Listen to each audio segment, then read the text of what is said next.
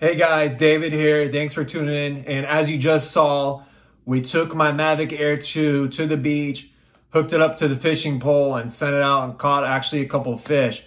So in this video, I'm gonna show you what it is exactly, how you do it. We're then gonna hook it up to my drone and we're going to uh, show you how to do it uh, in, a, in a controlled environment. Uh, when we were out there on Halloween, the winds were blowing anywhere from 15 to 20 miles an hour. I was super nervous.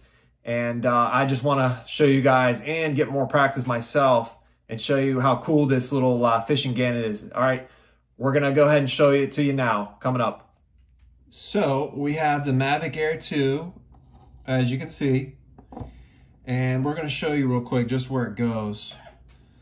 You have a couple, couple sensors on the other side here. And uh, basically it goes right here between these sensors. On the website it says do not turn off the sensors, but it partially blocks them. And I turn them off because basically we're flying over an open ocean. And uh, I don't want the, the, the device tripping any kind of sensor and having some kind of malfunction. So I turn it off because there's there's no obstacles. I mean, you're just flying over open ocean. Okay, so we're gonna take the Mavic away. We're gonna show you what we got here. So this is the box that comes in. Gannet Sport, world's most advanced mechanical bait release system since 2016. Well, there you have it. They've been doing it since 2016. And it's dronefishing.com. I'll leave a link below. I'm not affiliated, but if you want to grab your own, um, because they're kind of hard to find. I don't think I don't believe they're on Amazon. I had to search Google for them. They they're they're on there somewhere. You'll find them. So that's the box. You have the Mavic Air adapter. So you have three pieces. You have this goes. This actually contacts the drone. This sits right by the sensors. You have this red piece, and then you have another foam with uh, uh, tape on it. I never, I emailed them when I first got it. They responded the next day, and I still couldn't figure out from their instruction what to do with it, but whatever. I don't use it. I'm just going to keep it. And then you have the actual fishing gannet that, of course, sits on the bottom of the drone. You then have, this is what actually uh, your swivel or your fishing line goes in between there. And uh, you can make it tighter or you can make it looser. And this is super light too. And this is what I like about it. It's super, super light. It's a mechanical. There's no electricity. You don't have to plug it into your drone or program it on remote control. It's just basically uh, you fly it and uh, you put tension on the line and it pops off. So you have to adjust it to make sure you have the right tension. If it's too tight, it's not coming off. We all know what happens to that. You could crash your drone. If it's too loose, when you're taking off, it'll pop off and you have to restart. So here it is, guys. And then this, of course, hooks onto these. So let's go ahead and install it and I'll show you what I'm talking about. Okay, so of course this is the front of the drone right here.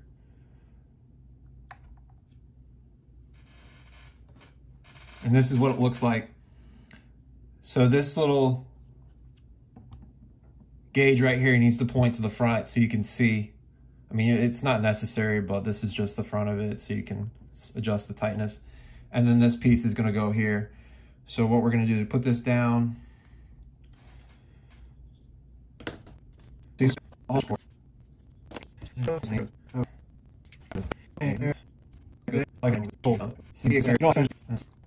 Sure.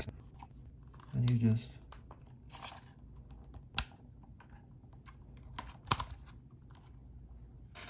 okay. And there you have it. Just goes like that. Front of the drone, adjust the tightness, and you can see the little foam, little cushion pad right there, that protects the drone. See, it's, it's a little bit in between.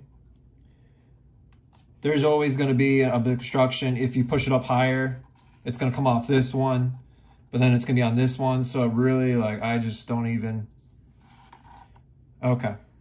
So there it is, guys. It's on. But now, if some of you guys were wondering, you can't take off like this. This, this is what's sitting on the ground. There's nothing else that's coming close. These front, these front little pegs here, as you can see. So there's a problem. And much to my surprise, uh, you can't take off like this.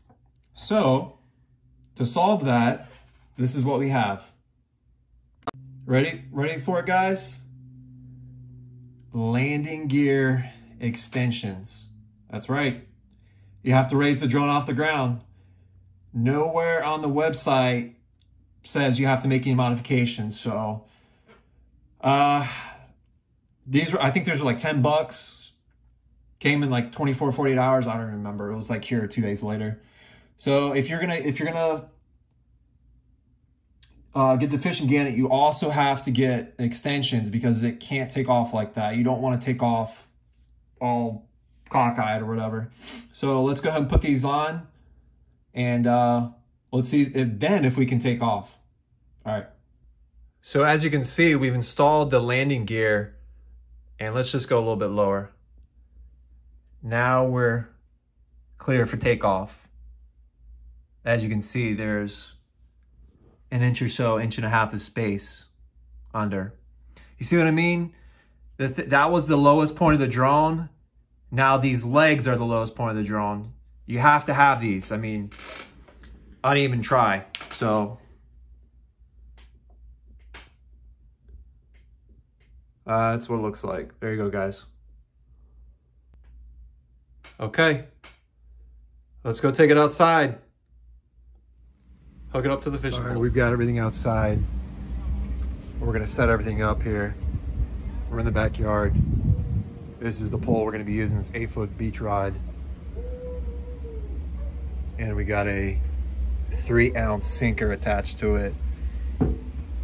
The drone will carry up to 14 ounces, but uh, I wouldn't even go in close to that height or that weight. You don't wanna overstress your drone. And plus, we're gonna be putting the drone into payload mode. So you're gonna put the drone on the ground, we're gonna attach the line, and then we're gonna drop it in the water.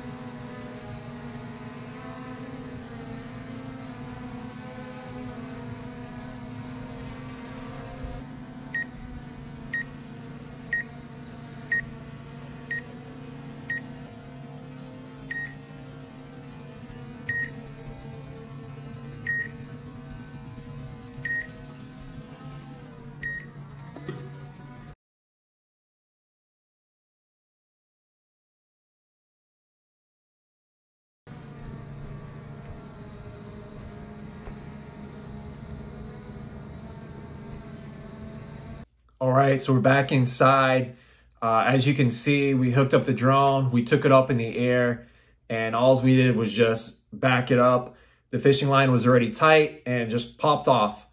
Super simple, super easy. It just takes a, a couple times to get used to it. The main concern is just uh, not getting your fishing line wrapped up in the propellers because if you do that, it's it's game over. You're probably replacing something. And, um, and if you're over the ocean, uh, yeah, you're done. so um, with that being said, I have I'll have all the links in the, uh, description below. I'm not like I said, I'm not affiliated with him um, or this company. Um, it, it, comes from South Africa. And it actually took a very short amount of time. It took about a week to get here, and uh, it's real easy to install. Just watch the video over again if you need help. If you have any questions, uh, drop some comments below. I'll be sure to answer them for you. Um, make sure you subscribe because we are going to go take uh, another fishing trip. Maybe we'll do a, a catch, clean, cook uh, with some fish that we catch from the drone.